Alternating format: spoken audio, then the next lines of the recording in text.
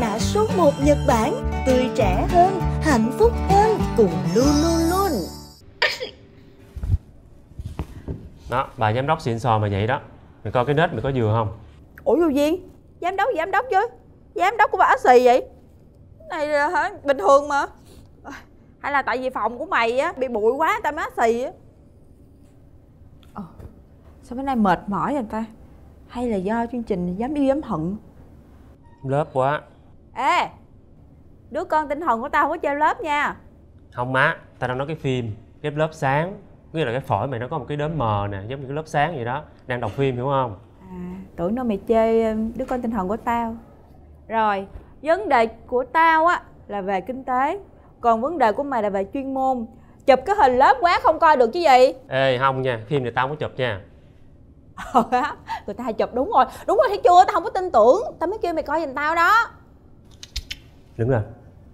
Gì vậy đứng lên đứng lên. Đi ăn hả? Đứng lên đi. Rồi xoay vòng. Gì vậy trời. Ba vòng thì đầy đủ. Ngon cơm chặt đẹp. Chồng mày là giáo viên thể chất. Mặc đồ bó sát. Mà sao lại ra cớ sự này ta? Ê, hồi nãy á kêu mà đứng lên xoay một vòng là tao thấy có vấn đề rồi. Xong rồi mày nói tao không hiểu mày đang nói cái gì luôn á là sao? Vợ chồng mày là 33 tuổi rồi đúng không? Ờ. Cưới nhau được 7 năm. Sức khỏe thì ổn định mà sao giờ này chưa có con? Đúng bác sĩ luôn á. Hỏi mấy vấn đề tế nhị mà hỏi tự nhiên ghê. Chưa có con thì ủa chưa có con thì tao không biết tao mới hỏi mày chứ tự nhiên mày hỏi tao. Là bạn thân của mày mười mấy năm kim luôn bác sĩ uh, cá nhân nữa. Thì bây giờ tao muốn biết lý do được không? Không có lý do gì hết trơn á tao vẫn để bình thường. Thì tụi tao lúc trước cứ nghĩ là hả để kinh tế ổn định chút xíu rồi có con để để qua tới giờ luôn tụi tao đâu có biết. Ủa mày khi nào mày ổn định? Mày định làm sao hollywood hả? Hay là sao showbiz việt? Hay là mày muốn là bây giờ hưởng thụ mà không có con cái? Mày nói là mày uh, chưa ổn định bây giờ mày chưa đủ giàu sao linh? Tao thấy lý do đó không có thuyết phục. À tao thấy thuyết phục. Đó là lý do của tao. Mày coi cái kết quả giùm tao thôi nha có liên quan tới thằng khánh đúng không? Thôi được rồi. Khỏi cần làm bác sĩ tâm lý trả kết quả tao về. Nhanh lên. Tiếp tục quay đầu với sự thật. Lần thứ nhất là lúc thằng ngọc chết. Lần này là lần thứ hai. Rồi thiệt tình luôn á nhiều khi chính mày á mày cố chấp rồi mày bắt buộc tao phải cố chấp rồi mày đặt để tao phải cố chấp trời ơi, quay đầu sự thật là cái gì? Sự thật có drama quá khứ có drama gì đâu mà phải quay đầu. Bây giờ tao với thằng khánh là đồng nghiệp ở chung một công ty. Hợp tác với nhau rất là vui vẻ còn là bạn thân nữa. Ủa quay đầu với quá khứ là cái gì? Chắc mày đã quên chuyện năm xưa tao sống cho hiện tại. Không có chuyện năm xưa gì trơn á. Tao không quan tâm quá khứ. Ok. Rồi được rồi. Nếu mày nói mày quan tâm đến hiện tại đúng không? Đó bây giờ cái phổi mình nó có vấn đề cộng thêm là hôm bữa tao có giới thiệu mày bác sĩ tâm lý nhớ không? Bây giờ mày gặp ổng để được tham vấn về cái chuyện vợ chồng của tụi mày đi. Rồi có gì quay lại ra tao kiểm tra cho. Ê nói nghe nè, bạn bè với nhau á Mày đừng có dùng cái giọng điệu mà bác sĩ mà nói chuyện với tao được không? Cộng thêm cái mặt mình nó đơ ra giống như nói chuyện với bệnh nhân vậy. Tao bị hoang mang lắm, tao không biết đâu Tao không biết tao bị cái gì luôn á. Cái phổi của mày nó có vấn đề cái kia. Gì vậy? Ủa thiệt hả? Ê, tao, tao về trước nha. Ê, ê, ê, ê, ê, coi tao có bệnh hay không nha. Ờ, ờ, về liền, về liền, về liền, về liền. Nhớ lại quay lại để sớm giùm tao đó nha.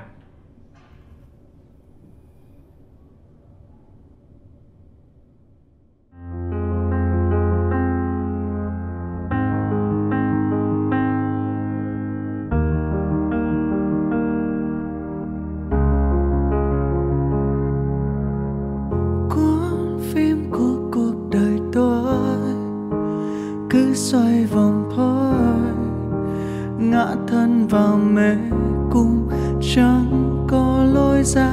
Trải qua cả thanh xuân chỉ thấy yêu tư bùa vây. Khiến tôi nhận ra mình tồi tệ thế nào. Kề bên không được rời xa.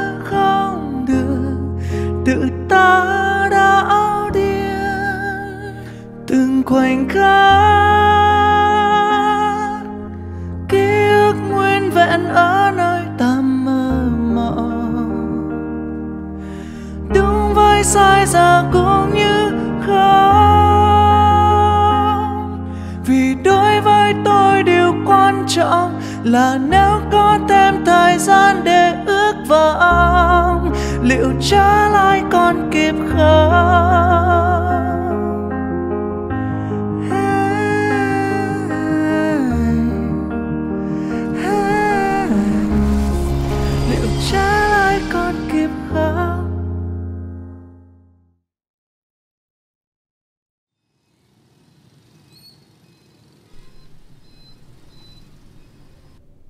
Rating của chương trình Dám hẹn dám yêu rất là thấp.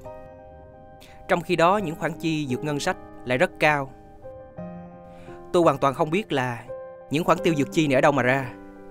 Chúng tôi hoàn toàn minh bạch Không có chuyện gì giấu giếm ở đây cả Ai cấp phép cho cậu và Linh? Xin lỗi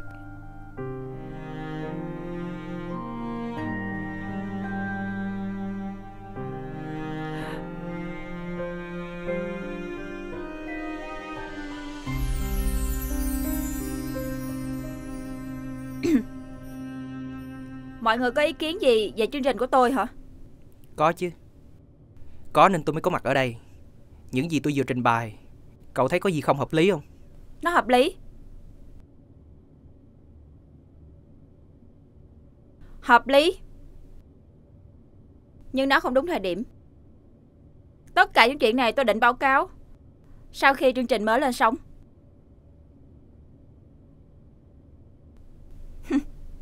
Người quen cũ Làm gì ở đây vậy Tôi thuộc bộ phận kiểm toán của công ty mẹ, được cử tới đây kiểm tra tình hình hoạt động của công ty trong quý vừa qua. Vậy tức là cô thừa nhận mình đã vượt quyền và ký cho những khoản chi vẫn chưa được cấp trên thông qua. Đúng không?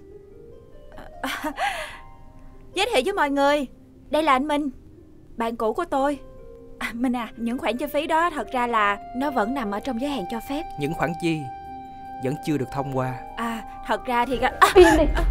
Đồ xếp vô lương tâm Láo cá trắng trợn. Tôi vừa mới lên phòng nhân sự Chính cô là người đuổi việc tôi. Tôi làm cái gì sai hả? Em ơi phòng họp cấp cao Ra ngoài nói chuyện đi em. Tránh ra. Anh mà đụng tới tôi là tôi lột đồ tôi nhảy ở đây đó. Ngon Em bình tĩnh lại đi. Em không có năng lực Chị đã cứu em rất nhiều lần rồi. Bây giờ với thái độ này của em Em bị đuổi là đáng mà. Đáng hả? Tôi bị đuổi là đáng hả? Ghét tôi thì nói mẹ đi Nhìn đi. Cái lá thư và dự án của tôi có phải là do công ty đóng dấu và ký tên đâu mà có giá trị? Tính đem tôi ra làm trò cười hả? Khánh Chuyện này là sao? Chị không có biết. Em ơi ra ngoài nói chuyện đi em. Đi em Mọi người đi. Coi chừng cái con quỷ cái này đó. Ngân em cần phải bình tĩnh lại. Nếu không là anh kêu bảo vệ đó.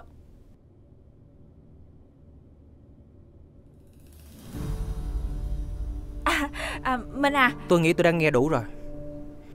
Tôi sẽ cần bản báo cáo của cô vào sáng ngày mai về những thiệt hại của chương trình mà cô đã gây ra trong thời gian qua.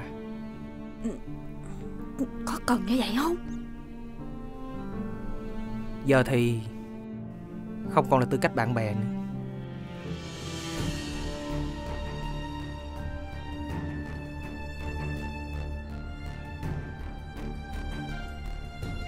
Chào cô.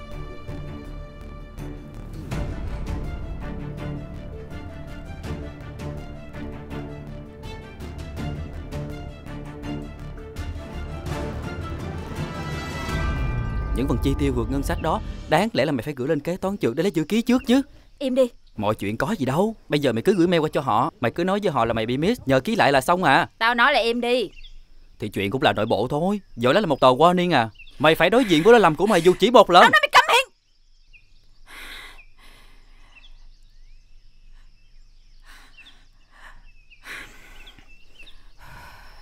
Hay mày lại muốn tao nhận lỗi thay mày? Như những chương trình trước Lần này không có đâu nha. Đây á, là đến tay công ty mẹ rồi. Chương trình đầu tư cả 3 tỷ đồng chứ không có ít.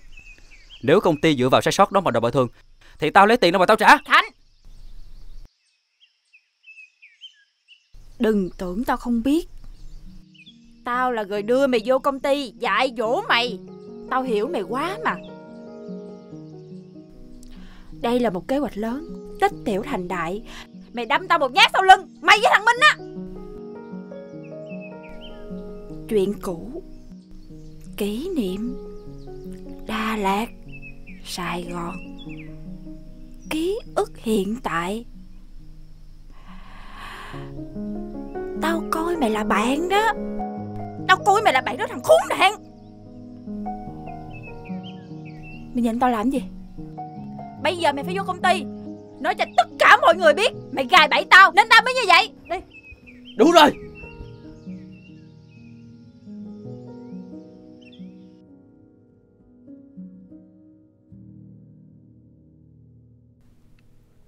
Phải. Đó là một cái bẫy. Nhưng mà bước vô hay không? Đó là chuyện của mày. Khánh. Chứ đâu phải tao đâu. Hiểu chưa sếp? Đến giờ mày đã xa lầy rồi Mày vẫn còn cái thói chỉ trích người khác Không chịu nhận lỗi gì mình. Lỗi hả? Mày điên hả Tao có lỗi gì chứ?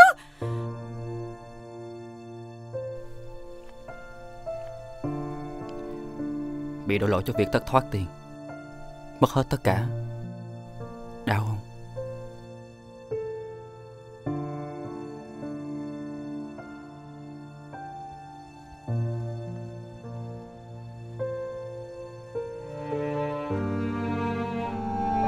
lúc tao đi toilet. Mày vô tình đi xuống. Thấy anh Khánh đang lộn bộ ở thùng tiền. Đúng không? Có không? Dạ có. Nè Đăng Linh thấy Khánh có lọ mộ tủ tiền lâu lắm. Không có nói nữa. Thôi đi. Con làm vậy là con giết mẹ rồi. Mẹ! Cô! Cô ơi! Chị Cô ơi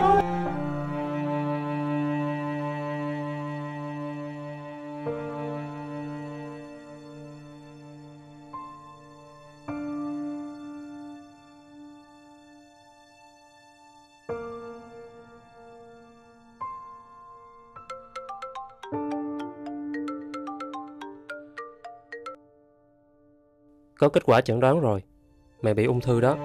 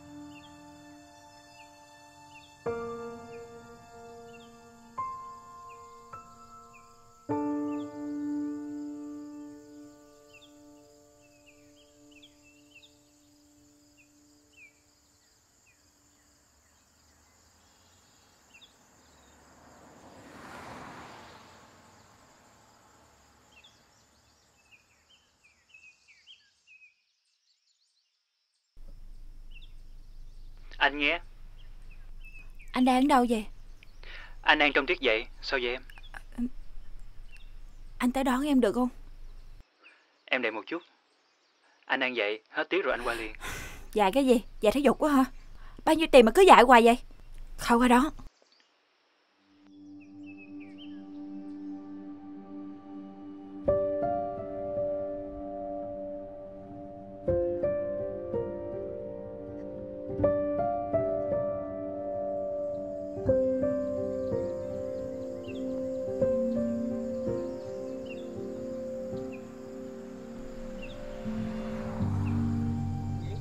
Di căn rồi ha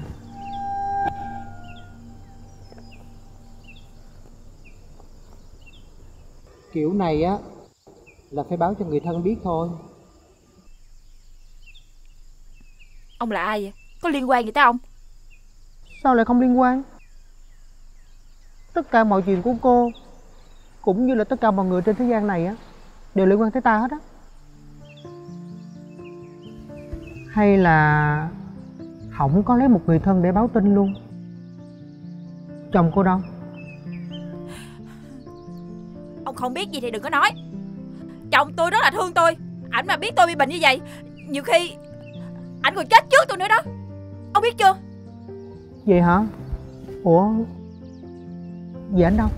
Sao không ở đây?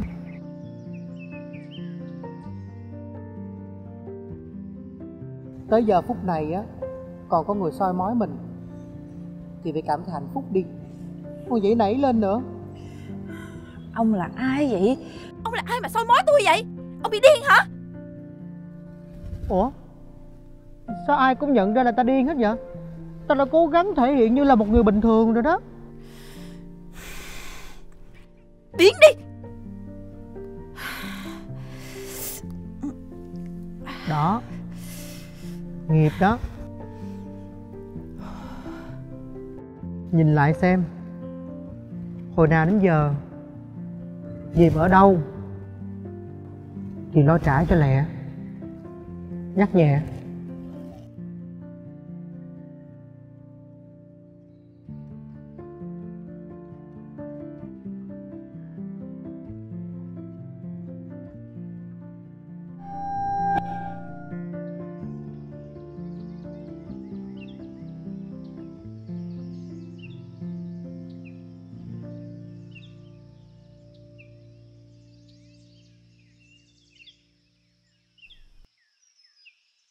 Em làm cái gì vậy?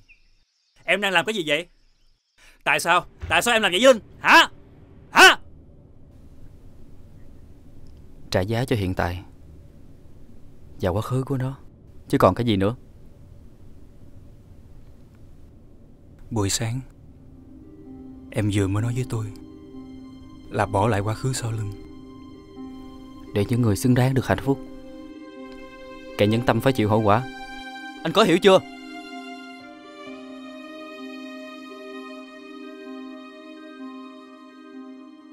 Đây không phải là An Khánh mà tôi biết. Tôi nói là tôi sẽ trở lại. Và tôi sẽ khác mà đúng không? Cái thằng Khánh khu khờ. Không dám nói ra ý của mình muốn. Luôn bị con Linh Và thằng Thế Ngọc mỉa mai cười cợt. Đã chết rồi. Chết như lúc thằng Ngọc bị xe tông vậy đó. Bây giờ tôi mới là tôi nè. Tôi đang sống thật với bản thân của mình nè Những gì Ngọc Linh đã gây ra cho mẹ tôi. Thì nó phải trả giá.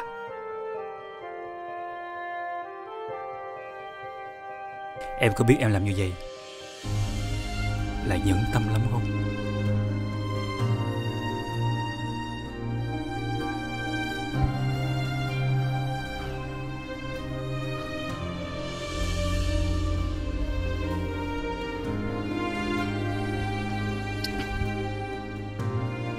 Em làm cái gì vậy hả?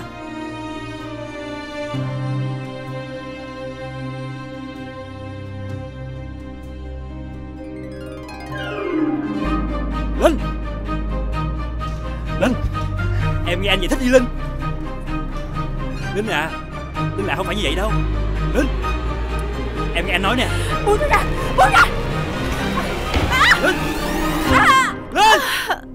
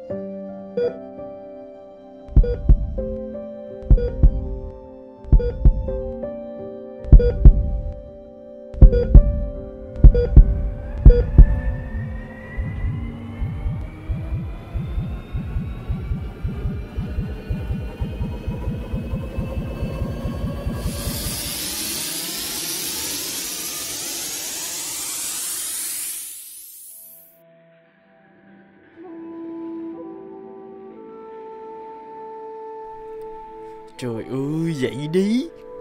Nhanh lên. Kiểu này là còn lâu. Ngủ gì mà lâu quá vậy trời. Nè Dậy đi. Nè. À.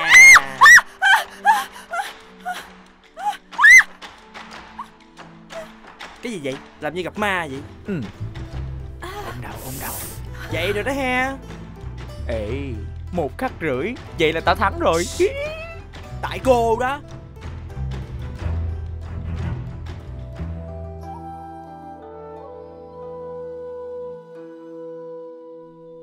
Đây là đâu vậy? Trời ơi. Hỏi gì ngang chàng? Không có chủ ngữ gì ngữ hết trơn vậy? Ai, nghĩ là cũng đúng. Bởi vậy bị cà tên sớm xuống đây là đúng thôi. Không có tôn ti trật tự gì hết trơn á. Mấy người là ai vậy? À. Ừ. ăn mặc gì kỳ cục vậy? Thích ý kiến không? Định trang của tụi tôi đó. Ừ. Sao? Định trang cũng phải đàng hoàng chút xíu chứ. Mặc đồ đen Vẽ cái mặt trắng. Mặc đồ trắng vẽ cái mặt đen. Trời. Không có giống ai hết trơn á. Quê mùa. Vậy người ta mới gọi là âm dương chứ trời. Đúng rồi. Trong dương có âm và trong âm có dương. Quay cái xô gì đúng không? Xô gì vậy? Cái xô gì mà bây giờ kêu tôi vô đây Rồi quay Rồi không nói với tôi tiếng nào hết. Đạo diễn đâu Kêu ra đây nói chuyện với tôi Nhanh lên Con nhỏ này bị té đập đầu nó bị khùng. Chắc tao Tao đập nó một cái nữa quá Trời ơi Nhiều khi á là Là hồn khí của người ta mới xuống đây Chưa có ổn định. Để đó cho tao. Uhm, Cô kia Cô có biết là cô đang ở đâu không? Tôi hỏi nãy giờ không ai trả lời cho tôi biết hết. Bây giờ hỏi ngược lại tôi hả?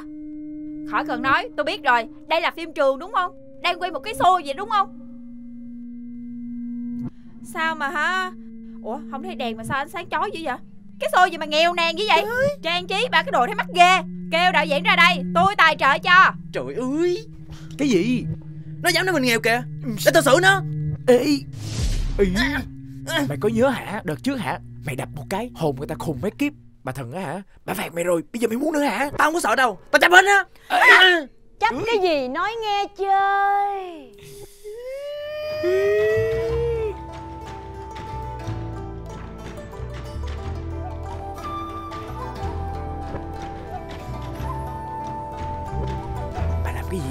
Ê cồng kềnh quá vậy?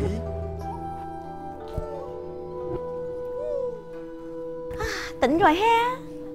Nghèo nàn Thiệt là nghèo nàn. Nói mình nghèo kìa. Chương trình gì mà nghèo như vậy Rồi ai đây? Đạo diễn hả? Ê, sao vậy? Hai đứa Sao nó hỏi mình là ai Ờ Cái linh hồn này nè Láo lắm á ngại Láo? Dạ con nghĩ là Cái linh hồn này lần đầu tiên chết á Nên là chưa có chấp nhận. Ê! Thì ra nãy giờ hai cái đứa này xuống đây là không có nói gì cho anh ta biết hết trơn. Làm công ăn lương gì kỳ vậy? Ê! Ủa nói nghe nè Cái này có phải gọi là Đá trách nhiệm không? Cái lúc mới vô đâu có mấy chuyện này đâu. Trời ơi tao lạy mày Nó nhỏ nhỏ thôi. Ủa mắc cái gì mà sợ? Không phải sợ Nhưng mà có việc làm cũng vui với bộ. Vui nội tao á. Một ngày mà tao gặp 10 con nhỏ như nhỏ này á Tao cũng khùng theo nữa. Thôi đi. Đó gì đó. Nè nè nè nè Cao hơn là cái chắc rồi Cao hơn. Cái hòm bự. Ê không có giỡn nha. Chuyện gì đang xảy ra ở đây à? Tôi đi à. À Là nãy giờ không ai trả lời cho nhỏ này biết mình là ai hả? Được rồi Muốn biết thì nghe đây.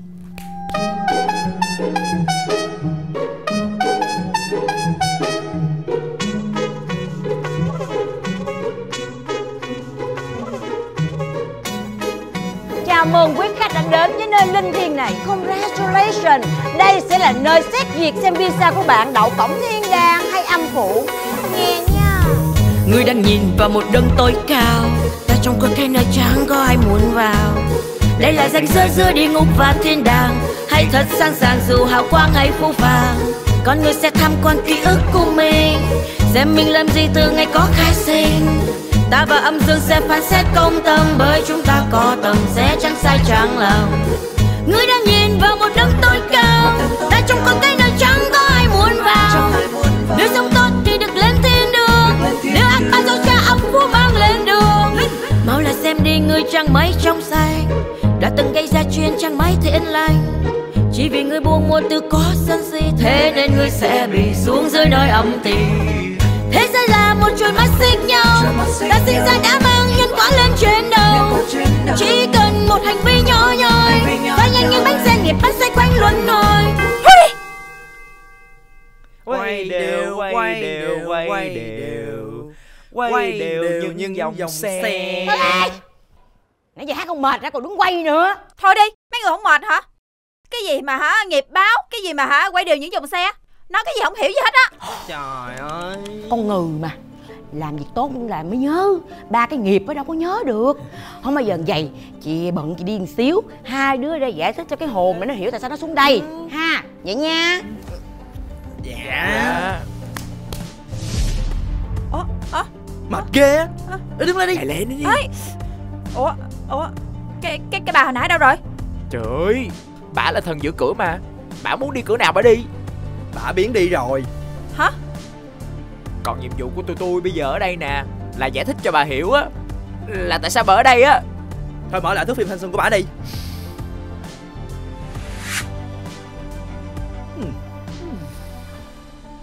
Ủa? Ờ, hả? Đâu ra vậy? Bấm đi. Thế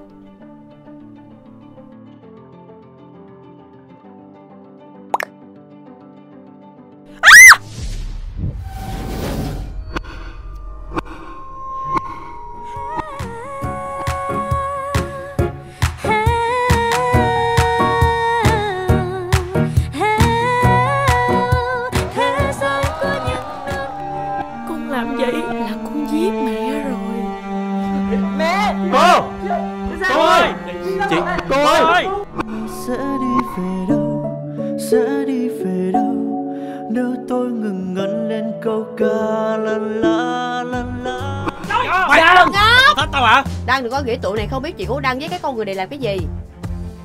Mọi người biết hết rồi. Linh cũng muốn xin lỗi Đăng với Khánh Vì sự cố chấp của mình mà làm cho mọi chuyện trở nên rối ren hơn. Linh đừng có nói như vậy. Ai cũng có một phần trách nhiệm mà. Nè Linh. Mày coi đi. Mày nghĩ sao Khi thầy Phúc thấy mấy bức ảnh này? Hử? Mày có biết bây giờ tao muốn làm gì không? Làm gì? Đốt cháy tụi nó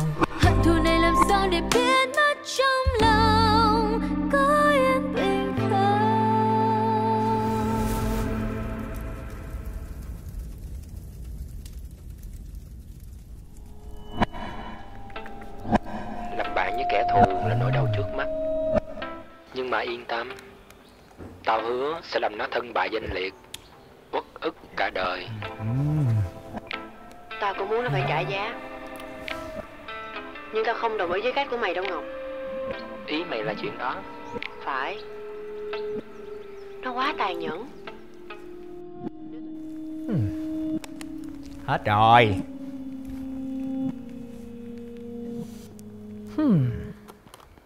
sao mấy người đầu tư dữ vậy? Đặt camera quay lén nhà tôi mười mấy năm trước luôn. Ủa mà mà, mà, mà sao làm được? Trời ơi Bà nghĩ bà là ai mà tụi tôi phải đặt camera giấu kính trong nhà bà mười mấy năm? Không có đâu nữ. Nè ha. Chứ sao cái này là cái gì? Trời ơi, xin trân trọng giới thiệu Đây là toàn bộ thước phim về cuộc đời bà. Và cái cảnh mà đang dừng lại á Chính là cái nơi mà tội lỗi lớn nhất của bà xảy ra Bây giờ bà đã nhận ra cái hậu quả của cái lỗi lầm đó chưa? chưa. Tao quá mệt rồi. Bây giờ cứ coi như là cái cái chỗ này nè là cái cái chạm dừng chân gì đó đi. Cái chạm dừng chân của linh hồn đó linh hồn. Ừ. Ờ chạm dừng chân của linh hồn đi. Nhưng mà nhưng mà cái chuyện tôi gây ra ngày xưa là là nhỏ nhỏ xíu à với lại lúc đó còn đi học. Tôi nhỏ xíu à thì đâu có gì đâu mà tự nhiên mà bắt tôi mà ở ở đây rồi đài tôi xuống địa ngục nữa. Trời ơi trời. Cái chuyện bà làm vậy mà bà kêu nhỏ xíu. Ừ. mấy người mà sống như vậy á người ta sẽ nói là mấy người nhỏ mọn. Trời đất ơi. Thôi phán xét tụi mình luôn rồi. Ừ. Nhỏ mọn. Nhỏ mọn mà bà làm chết một người á. Bà giết người đó. Ừ tôi giết ai? Ai? Mẹ, của Khánh mẹ của mẹ của khánh hả? Mật mẹ khánh mất. Không. Tôi nhớ tôi nhớ lúc đó là mẹ mẹ của khánh chỉ xỉu thôi mà. Đúng. Đúng là bác chỉ xỉu thôi. Nhưng mà bác nhập viện 2 tuần Và sau đó bác đi luôn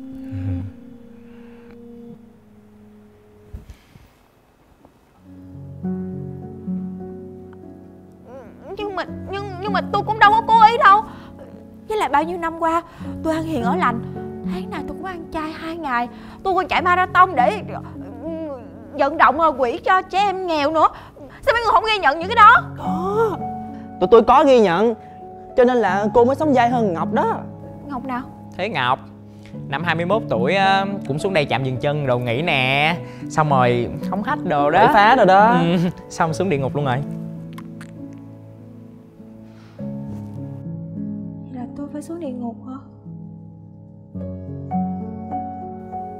Không. Tôi không xuống địa ngục đâu. Tôi không có làm sai gì hết á. Cái chuyện nó nhỏ xíu à. Mấy người đừng bắt tôi xuống địa ngục Tôi không xuống địa ngục đâu. Ơi là trời quá là quá là mệt rồi. Quá là nhiều chấp niệm đi à. Bây giờ cô có hai lựa chọn. Một, đi xuống địa ngục. Hai, là ở lại đây suốt đời. Chọn đi. Lẹ đi